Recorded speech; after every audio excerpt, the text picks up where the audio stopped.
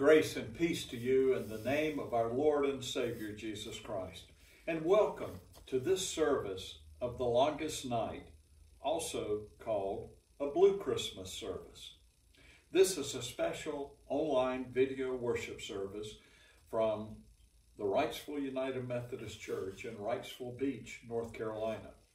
I'm Pastor David Haley, one of the associate pastors at the church, and it's my joy to welcome you to this service today.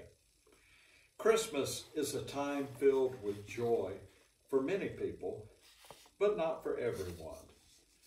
Some of us have suffered a loss during this past year. Many of us have grown weary as we come to our third Christmas with COVID. We're tired of masks, of social distancing, and inflation. Others of us associate the Christmas season with loss because it was at this time of the year that we lost family members and loved ones. For still others who have lost a relationship or health, a job, or had a financial setback, it may be a time of pain, confusion, or fear.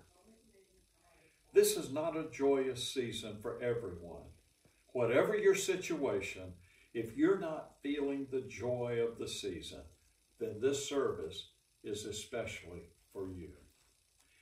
Let us pray. God of mercy, hear our prayer in this Advent season for ourselves and our families who live with painful experiences of loss. We ask for strength for today, courage for tomorrow, and peace for the past. We ask these things in the name of Christ, who entered the world at Christmas to share our life in sorrow and joy, in death and new birth, in despair and promise. Amen.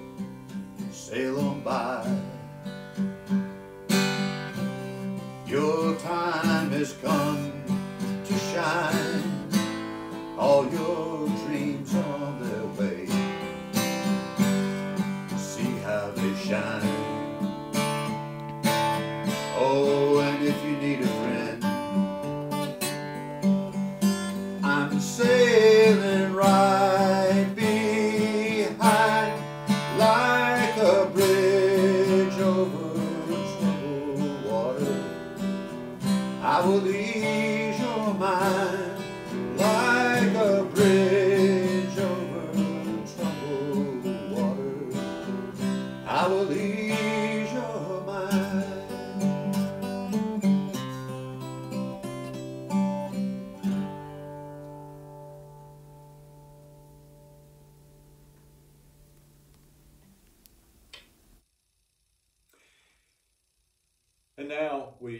To the scriptures for our word from God for tonight. The scripture reading is from Psalm 30, verses 1 through 5, and verses 10 through 12. I will exalt you, Lord, for you lifted me out of the depths and did not let my enemies gloat over me. Lord my God, I called to you for help, and you healed me. You, Lord, brought me up from the realm of the dead. You spared me from going down to the pit. Sing the praises of the Lord, you, his faithful people. Praise his holy name. For his anger lasts only a moment, but his favor lasts a lifetime. Weeping may stay for the night, but joy comes in the morning. Hear, Lord, and be merciful to me. Lord, be my help. You turned my wailing into dancing. You removed my sackcloth and clothed me with joy, that my heart may sing your praises and not be silent. Lord my God, I will praise you forever. This is the word of God for us, the people of God. Thanks be to God. Let us pray. Heavenly Father, send your Holy Spirit into our midst that our hearts might be prepared to hear your word. May your anointing be upon the one who preaches, that his sins might not hinder your word. Through Jesus Christ our Lord, we pray. Amen. Well, here we are, closer and closer to Christmas. Christmas is supposed to be a season of joy. It's a time we reflect upon the heavenly hosts singing, Peace on earth and goodwill to men. Even the world joins in with Christmas lights and parties and singing songs like, Have a Holly Jolly Christmas. Holly is indeed pretty, but it also has sharp, prickly leaves. And for many, they do not see the beauty in Christmas. All they feel is the stabbing pain. They're more likely to sing Blue Christmas rather than White Christmas. And this is because there's so many people in pain. Some have suffered from illness personally or in the family. Some have lost their spouses to death. Some have lost other family members. I recently lost my beloved, dear oldest sister. Some have experienced other losses in the pandemic. Many are alarmed at political and world events. And these things weigh heavy on our holiday. It's hard to put on the expected joyful face when we are in grief. Problems with the message of Christmas are not new. The famed poet Henry Wadsworth Longfellow wrote a Christmas carol called I Heard the Bells on Christmas Day. And he mentions that they played all the familiar carols. They proclaimed the message of peace on earth. And yet, Longfellow was troubled with the fact that he could not find any peace on earth. There was so much war. Uh, he writes in the carol, There is no peace on earth, I said. Edmund Sears echoed this in the familiar carol, It Came Upon the Midnight Clear. The message of the angels struggling to be heard among the competing voices of the world. And he longed for the day that the message of peace on earth and goodwill to men might be as clearly heard as the starry night sky. Vincent van Gogh, the famed artist, painted uh, perhaps uh, his most famous painting, Starry, Starry Night. Now, he was a man who was raised in the church, and he heard the carols of Christmas. And yet, in all the field of stars, he struggled all his life to find the Christmas star. What tragic grief he suffered. He couldn't live with it. So, how do we resolve the message of the first Christmas in light of skeptics and all the losses that we have felt? Well, first of all, it's appropriate to be honest about our feelings rather than just saying what we ought to say. Because grief and loss are real. And let's acknowledge this. And if we have occasion to celebrate Christmas without these burdens, let's be sensitive to others who are grieving. Let's not be their mockers, but rather their encouragers. The Christian faith truly has the answer to death. Even those who are in deep grief and walking through the valley of the shadow of death can realize this. Let's take time to sit with them in their grief and listen. The Lord will work this out in due season. Let's remember that even Jesus took time to weep at the tomb of Lazarus. And this was in spite of the fact that he already knew he was going to raise Lazarus from the dead. In that story, we find the shortest verse in the Bible Jesus wept. It's also one of the most profound. But the time will come when the joy will be restored and the songs of Zion played again. And that's certainly the message of our scripture from Psalm 30 that I read just a moment ago. Weeping may stay for the night, but joy comes in the morning. And you turned my wailing into dancing. You removed my sackcloth and clothed me with joy. Unfortunately, loss is a real part of life in this fallen world in which we live.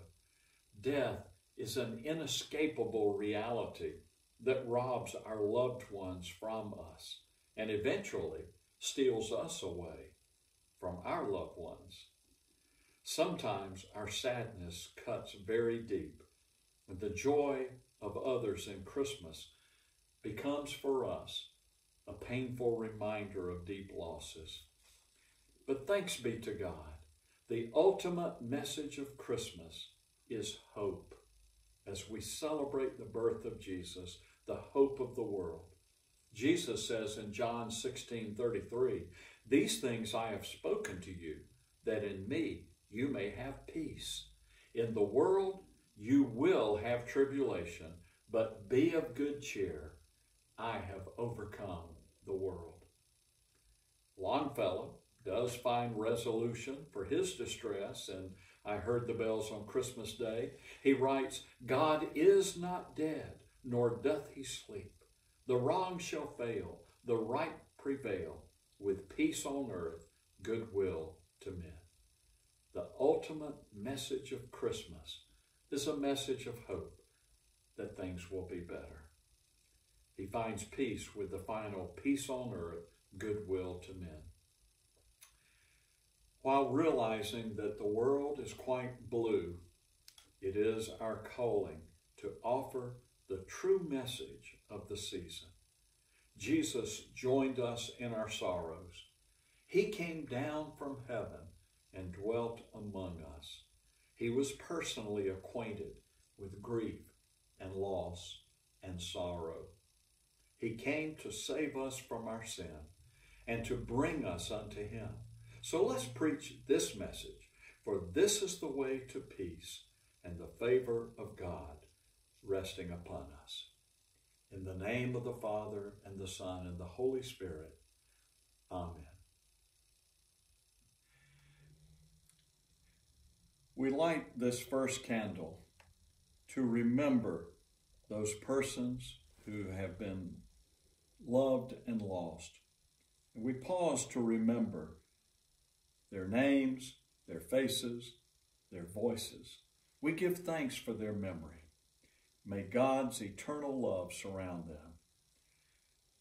We light this second candle to redeem the pain and loss the loss of relationships, the loss of health, the loss of jobs, the loss of financial security. As we gather up the pain of the past, we offer it to you, O God asking that into our hearts you place the gift of peace.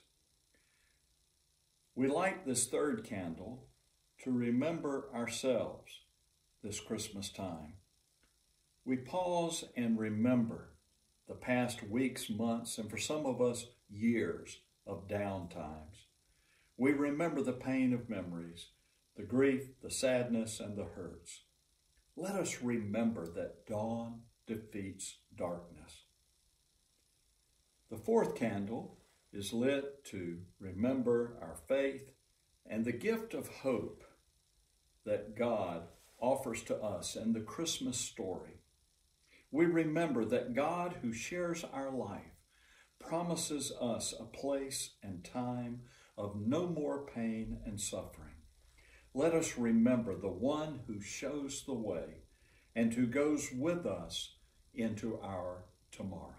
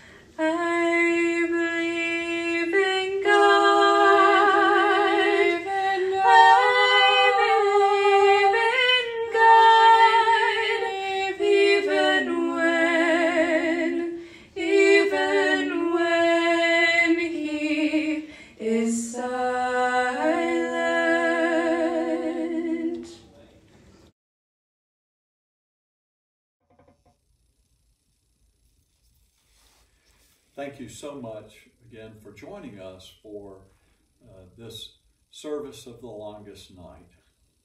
And certainly our prayer is that you will find peace and joy in this Christmas season through the message of hope that we receive in the celebrating the birth of our Savior, the Lord Jesus Christ. And now may the God of hope fill us with all joy and peace in believing through the power of the Holy Spirit. Amen.